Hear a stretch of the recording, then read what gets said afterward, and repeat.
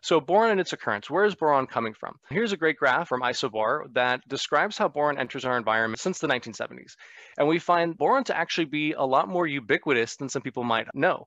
So it is common in mining and material processes. It's actually very common in glass and ceramics. Uh, borosilicate is actually something that we use often. I believe it's a Pyrex glass, right? And then agriculture. So boron is a micronutrient and it is essential nutrient. And you can actually, you know, have big swings in boron deficiencies or boron toxicity if the ranges aren't uh, where they need to be. Uh, but what I found to be the most interesting and what I, I, think that, you know, maybe some people already know this is the presence of boron in the environment as borax. So we find that in many cleaning products, teeth cleansers, flame retardants, laundry boosters, pesticides.